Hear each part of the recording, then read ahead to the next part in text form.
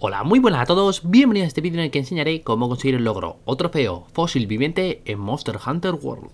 Para conseguir el logro o trofeo tendremos que venir a esta zona del Valle Putrefacto y pescar un petricanto.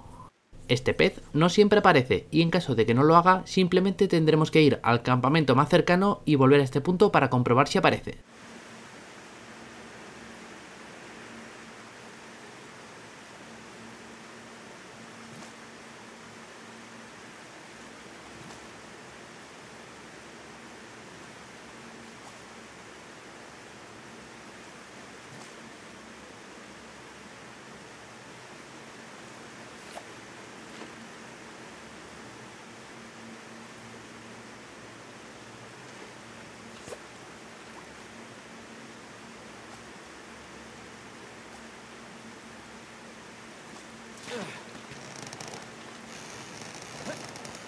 Yeah.